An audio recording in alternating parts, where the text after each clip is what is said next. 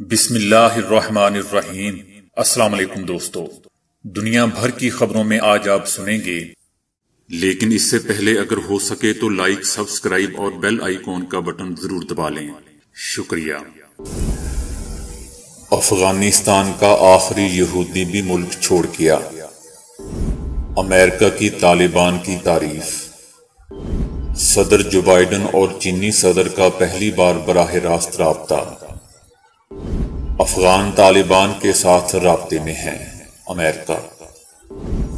आम अद्वियात आंतों में जमा होकर इलाज को मुश्किल बना रही हैं। फेसबुक ने स्मार्ट डिजिटल एन फरोख के लिए पेश कर दी। कुछ लोग हमारी कामयाबी या खुशी से क्यों जलते हैं? तो आइए चलते हैं अब खबरों की तफसील की जानी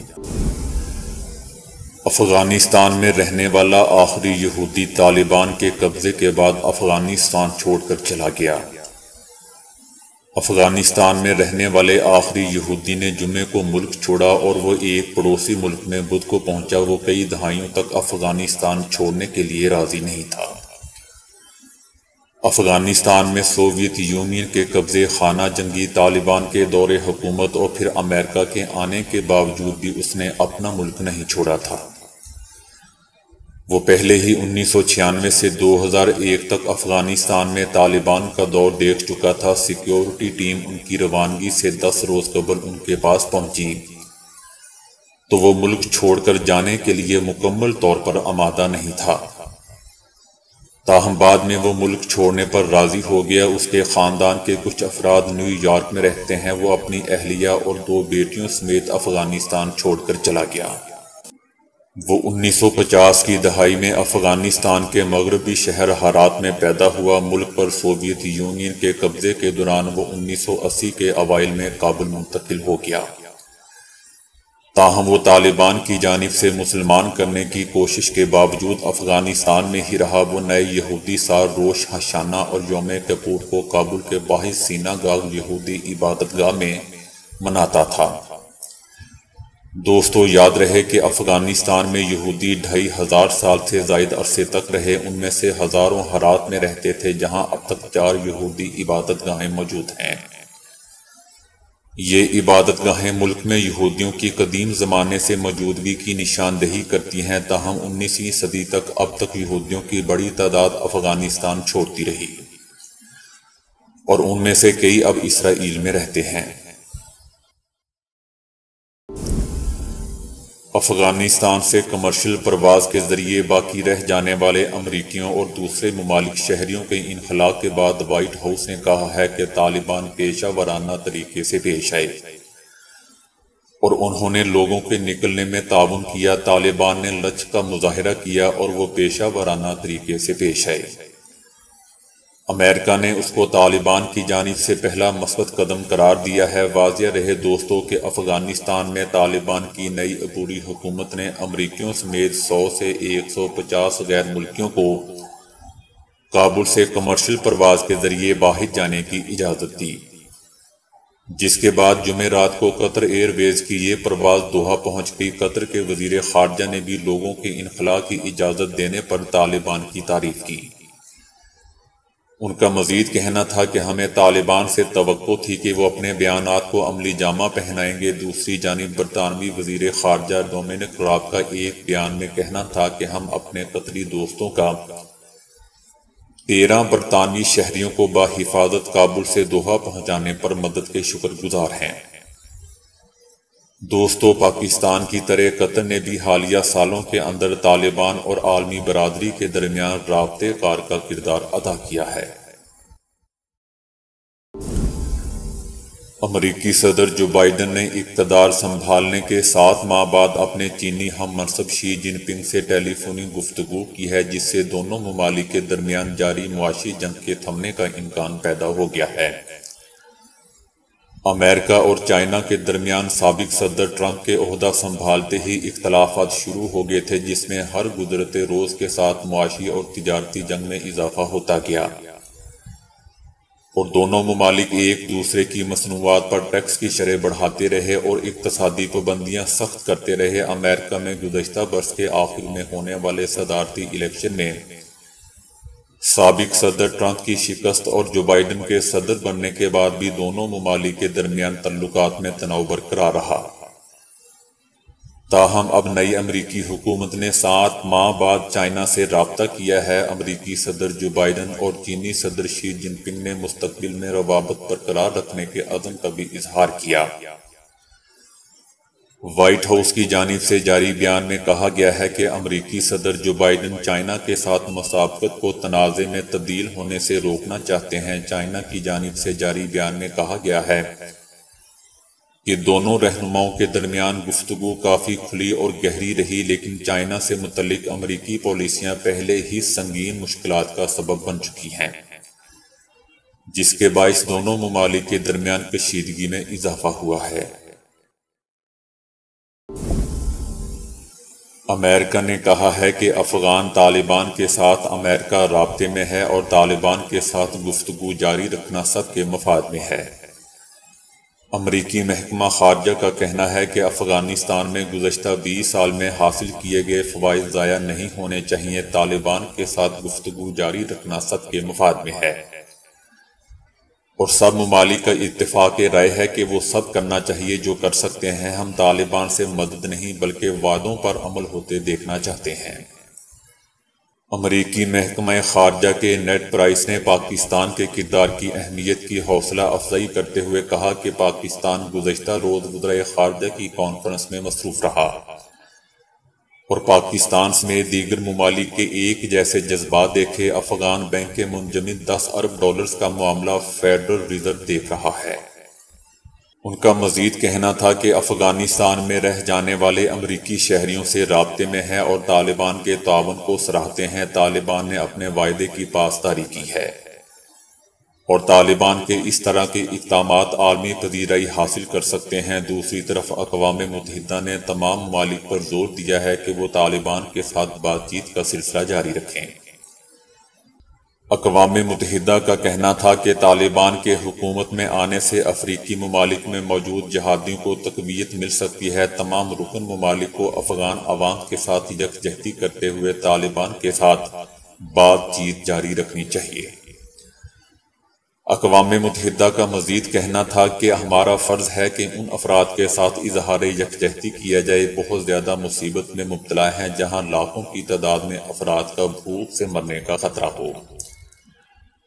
अकवा मुतहदा ने तमाम ममालिक पर ज़ोर दिया कि वो अफ़गानिस्तान में मुआशी तबाही ना होने दें। अगर हम चाहते हैं कि अफ़गानिस्तान दहशत गर्दी का गढ़ ना बने खातन और लड़कियाँ वो तमाम हकूक ना खोएँ जो उन्होंने गुजशत अरसे में हासिल किए और वो तमाम ग्रोहों की बराबर नुमाइंदगी हो तो हमें उनसे रबता रखना होगा। अकवा मुतहदा ने कहा कि ऐसे ग्रोहों से मुतलिक तशवीश पाई जाती है जो मौत की ख्वाहिश का जज्बा रखते हैं और जिनके जंगजुओं के आगे मुल्कों की फौजें बिखर जाएँ। ऐसे लोगों पर तशवीश पाई जाती है। एक अहम इंकशाफ हुआ है कि दमे डिप्रेशन और शुगर की आम अद्वियात अगरचे अपना असर तो करती हैं, लेकिन तवील मुद्दती असर में ये आंतों के बैक्टीरिया में जमा होती रहती हैं और आगे चलकर कई अद्वियात के असर को कम कर देती हैं या कर रही हैं। क्योंकि अद्वियात के जमा होने से बैक्टीरिया गैर मामूली तौर पर तब्दील हो रहे हैं। साइंसी मैगजीन नेचर में शाया होने वाली एक रिपोर्ट के मुताबिक बाल बैक्टीरिया कीमियाई तौर पर बाज अद्वियात को बदल सकते हैं, जिसे बायो ट्रांसफॉर्मेशन का अमल कहते हैं। कई आम अद्वियात धीरे धीरे से बैक्टीरिया में जाती रहती हैं और ना सिर्फ़ उन्हें अंदर से बदलती हैं, बल्कि उनके अफ़ाल भी बदल देती हैं। अब ख्याल ये है कि बैक्टीरिया के बदलने से बराह रास्त नई दवाओं पर असर पड़ सकता है और जिससे दवा के मुजर असरात पड़ सकते हैं। हमारे मैदे आनत और निज़ाम हाजमा में सैकड़ों, हज़ारों अकसाम के बैक्टीरिया पाए जाते हैं जो न सिर्फ़ सेहत बल्कि अमराज में भी अहम किरदार अदा करते हैं। हर इंसान में उसकी तरतीब मुख्तलिफ़ होती है, उनके बिगड़ने से मोटापा, इमनियाती निज़ाम और दिमागी अमराज भी पैदा हो जाते हैं। फेसबुक ने बहुत इंतज़ार करवाने के बाद आखिरकार अपने स्मार्ट ग्लासेस पेश कर दिए हैं। ग्लासेस के दोनों जानी पाँच मेगा पिक्सल कैमरे नस्ब हैं। जिन्हें एक साथ इस्तेमाल करते हुए तस्वीर और वीडियोस बनाई जा सकती हैं। दो कैमरों की बदौलत अब सार्फिन थ्री डी तस्वीर और वीडियो तैयार कर सकते हैं। इसमें मौजूद ताकतवर स्पीकर मौसीकी सुनाते हैं, जबकि इस एन से आप फ़ोन कॉल भी कर सकते हैं और वसूल भी कर सकते हैं। तमाम खूबियों के बावजूद ये एन सिर्फ़ 50 ग्राम वजनी है और कीमत दो सौ निन्यानवे डॉलर के लगभग रखी गई है। दिलचस्प बात दोस्तों ये है कि इसका केस खालिश चमड़े का है, लेकिन इसमें ग्लासेस रखकर उसे चार्ज भी किया जा सकता है और बैटरी पूरे दिन चल सकती है। देखने में ये फ़ैशन और स्टाइल से भरपूर धूप का चश्मा लगता है, लेकिन कई बटनों से आप मीडिया रिकॉर्डिंग या फ़ोन कॉल भी वसूल कर सकते हैं।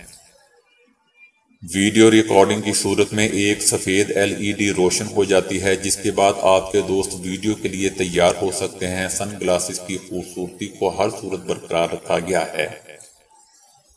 इस इख्तरा की बदौलत अब फ़ोन को एक नया रूप देना मुमकिन हो जाएगा। दोस्तों, लोग हमारी कामयाबी या खुशी से जलते हैं। इस बात का अंदाज़ा हम उनके बुरे रवैये से लगा सकते हैं। लेकिन दुनिया में ऐसे फनकार भी मौजूद हैं जो बहुत आसानी से अपने अंदर का जहर छुपाकर बज़ाहिर हमारे सामने मीठे बनते हैं, लेकिन वक्त पड़ने पर हमें नुकसान पहुँचाने से नहीं चौकते। वो लाख अपनी जलन पर पर्दा डालें, लेकिन आपको उनके अंदर का बुग्ज आखिर नज़र आ ही जाएगा। मसलन अगर कोई कहे कि मैंने सुना है कि तुमको नौकरी मिल गई है, बहुत मुबारक हो। लेकिन वो कंपनी तो ऐसे लोगों को ही मुलाजमत देती है जो कम तजर्बेकार हों, खैर फिर भी आपको मुबारक हो। देखा दोस्तों, आपने किस तरह मुबारकबाद में तंज छुपा हुआ था? ये तंजिया रवैया या अगले को नीचा दिखाने की कोशिश करना ये साबित करता है कि आप एक हासिद के साथ बैठे हुए हैं। खासी दोस्त की एक निशानी ये भी है कि वो कभी आपकी पुरानी गलतियाँ नहीं भूलता और वक्तन फवक्तन आपको याद दिलाता रहता है ताकि आप कभी खुद पर भरोसा ना कर सकें। आप कभी अपनी खुशियाँ और कामयाबियाँ अपने दोस्तों या रिश्तेदारों के साथ बांटना चाहते हैं, लेकिन उनमें से कुछ ऐसे भी होते हैं जिनसे आपकी कामयाबी हजम करना मुश्किल हो जाता है। अक्सर ऐसा भी होता है कि आपके दोस्त या रिश्तेदार को खुद भी इस बात का पता नहीं चलता कि वो आपसे हसद का शिकार है। ऐसे हासिल लोग आपकी गैर मौजूदगी में खुद को आपसे अच्छा साबित करने के लिए दूसरों से बातें करते रहते हैं। आप अक्सर ये जुमला सुनते होंगे कि आप तो बहुत खुशकिस्मत हैं। ये जुमला तारीफ़ की हद तक तो अच्छा लगता है, लेकिन अगर कोई आपकी मेहनत को भी आपकी गुड लक करार दे दे तो ये भी जलन की एक निशानी है। मिसाल के तौर पर आपने कोई ऐसा इम्तिहान पास कर लिया जिसके लिए आपने दिन रात बहुत मेहनत की और फिर भी आपका दोस्त आपकी मेहनत को सराहने की बजाय तमाम सहरा किस्मत के साथ डाल दे तो जान लें कि ये उसका हसद है।